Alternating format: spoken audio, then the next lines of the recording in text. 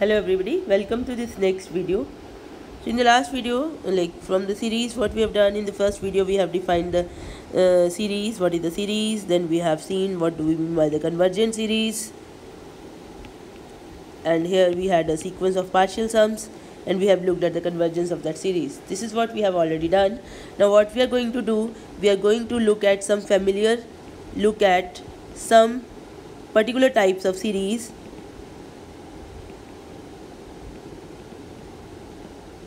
whose convergence is easy to check. And then we will you know dig, a, dig into dig deeper into this field. So maybe we are going to spend some time like maybe one or two videos to look at some particular types of series. So first of all the uh, if i give you examples of particular types of series so we have arithmetic progression or series arithmetic series a series of this form. You start with a number then you keep on adding. The second term is a plus d right? So you have this. The third term is a plus 2d then the fourth uh, fourth term is a plus 3d and so on. So you have a series like this for example i can say that uh, say 1 plus 2 plus 3 plus 4 plus 5 plus 4 uh, 6 and so on this is an arithmetic progression with d equal to d that is the common difference is equal to 1 here you see 1 then 1 plus 1 then 1 plus 2 then 1 plus 3 1 plus 4 and so on. So this series mostly we already studied it in class uh, 11th or 12th so i am not going to uh, study this arithmetic progression already studied so it's quite simple. Then we have this also we cover some somewhere like uh, in the 12th or 11th class but still we are going to cover this geometric series. So in this video we are going to talk about geometric series. So what do you mean by a geometric series? Suppose you have you have a number a you start with that number. This is your first term. Then you add in this number another number a into r. You fix a common ratio. R is a is your first term r is called the common ratio. Then you have a then ar plus ar square plus then you multiply with r again you'll get ar cube. You multiply with r again you'll get ar4 you multiply with r again you'll get ar5 and so on. So this is going to be a series. This particular series is called a geometric series. This series is called a geometric series now the first question which you sh which should come to your minds is why this is called a geometric series. So this is called a geometric series because suppose you take the geometric mean of these two numbers. So what do you mean by geometric mean? You, you can go for the physical significance you can see it yourself but given a number given two numbers a and b geometric mean of those numbers is a into b square root. So now if i take the square root of these two num uh, geometric mean of these two numbers this is going to be a into ar square square root. So this is a square r square. This is ar so this term is the geometric mean of the first term and the third term. Now you look at the geometric mean of these two numbers. So here is ar square into ar raised to power 4 square root. So this is equal to a square r raised to power 6 this is ar cube. So you get the number in the middle and so on. So in this series each term of the series from the second onwards of the series is the geometric mean of the previous and the next term.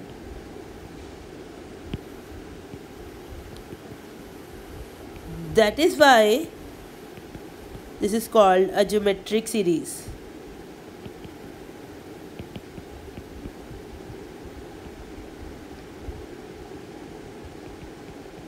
okay now we want to look for the convergence of the geometric series. So having defined a geometric series okay before that we can go for some examples.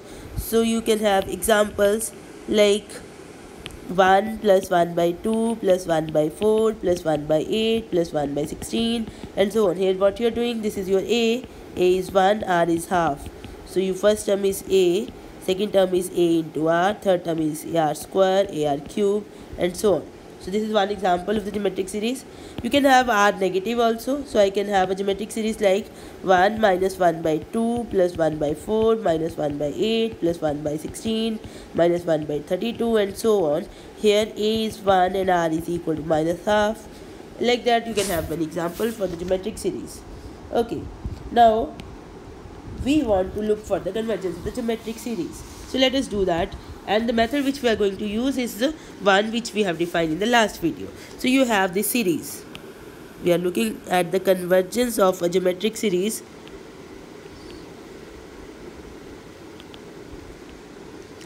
Okay.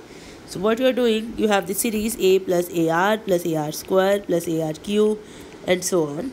So basically i can write it as a r is power n minus 1 n from 1 to infinity so I'm going to construct the sequence of partial sums. Construct the sequence of partial sums. So what is my S1? S1 is your first term. Then your S2 is S1 plus the next term. Then your S3 is this and so on. Your Sn is A plus AR plus AR square up to AR raised to power n minus 1. You can see that when it you have a 3 here the power is 2 here. When you have a 2 here power of r is 1 here. When you have 1 here power of r is 0 here.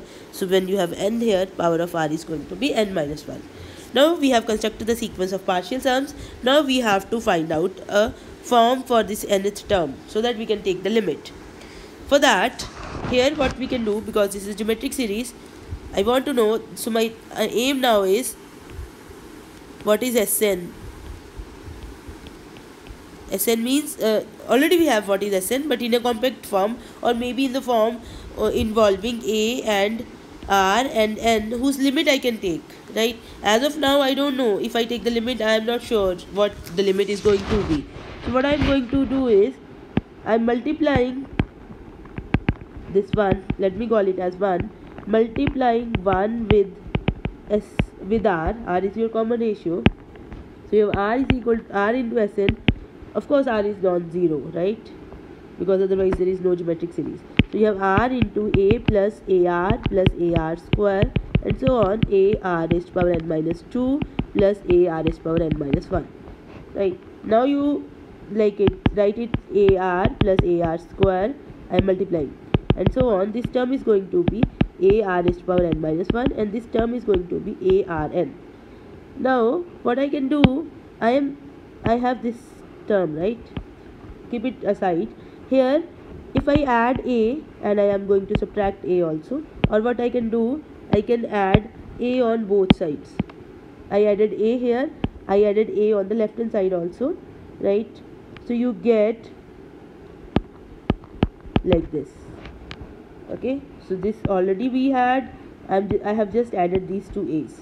Now can you see what is this this is your Sn again. So you get r Sn plus a is equal to a uh, this whole term not this including a is your Sn so you have Sn plus a r is to power n. So now you can com combine Sn you bring it here bring it here. So you have r Sn minus Sn is equal to a r is to power n minus a. So you get Sn r minus 1 is equal to a r is to power n minus 1 so you have Sn is equal to A r is to power n minus 1 upon r minus 1. So this is what I get my Sn as. Now I want to know whether this limit exists or not. Now, now when now we you want to know about limit n going to infinity Sn. So we have different cases. If r is such that its mod is less than 1 so it's some it, the number is like less than 1 so what is going to be the limit and going to infinity of Sn? So this is going to be limit n going to infinity a. R is to power n minus 1 upon r minus 1 so these terms they are independent of n. You can take it out. So you have a upon r minus 1 limit n going to infinity r is to power n minus 1 now because r is a number which is less than 1 so a number less than 1 and you take it to the power infinity it is going to be 0 right? So you have a r minus 1 0 minus 1 so you get a upon 1 minus r. So when mod r is less than 1 the given series is convergent and its sum is a upon 1 minus r. Now if mod r is greater than 1 so let us see what is the limit if mod r is greater than 1 so limit n going to infinity. Sn is limit n going to infinity. A r is power n minus 1 upon r minus 1 now because r is greater than 1 so this term is going to be infinity. So you have a number which is greater than 1 and you are taking that power to be infinity. So this is going to be infinity. So it means that the series is divergent now when r equal to 1 mod of r equal to 1 it means that r is equal to plus minus 1 so let us see what happens when r is equal to plus minus 1 in that case you have the series as when r is equal to 1 the series is a plus a a into 1 plus a into 1 square plus a into 1 cube and so on. So the series is a plus a plus a plus a plus a so you have a series which is constant numbers. Can you guess what this series is going to be? Its partial sum Sn is going to be n into a because S1 is a, a S2 is a plus a that is 2a S3 is a plus a plus a that is 3a so Sn is going to be na and if you take the limit n going to infinity Sn this is going to be limit n going to infinity na which is infinity. So in this case also the series is going to be divergent because the limit of the partial sums is infinity.